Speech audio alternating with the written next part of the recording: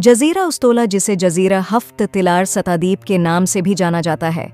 जजीरा सात पहाड़ियों का जजीरा या दजाल, जजीरा बहर अरब में तकरीबन 25 किलोमीटर और 16 मील साहिल के करीबी हिस्से से जनूब में, और 33 किलोमीटर और 14 मील पसनी की माहीगीरी बंदरगाह के जनूब मशरक में।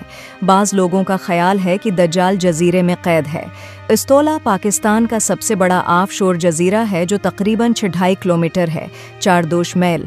लंबा है जिसकी ज़्यादा से ज़्यादा चौड़ाई दो दोश किलोमीटर, एक दोश मैल और तकरीबन दोश किलोमीटर दो दो डाटा मुरबा मैल है। बुलंद तरीन मकाम सतह समंदर से 246 फुट, पचहत्तर मीटर, बुलंदी पर है। इंतजामी तौर पर यह जजीरा सूबा बलूचिस्तान के ज़िला गवादर के पसनी जैली ज़िला का हिस्सा है। इस जजीरे तक पसनी से मोटर वाली किश्तियों के ज़रिए रसाई हासिल की जा सकती है। जजीरे तक पहुँचने के लिए तकरीबन पाँच घंटे का सफ़र है। 4 अगस्त 2020 को पाकिस्तान ने एक नया सियासी नक्शा जारी किया, जिसमें पहली बार चोरना और इस्तौला के जजायर दिखाए गए।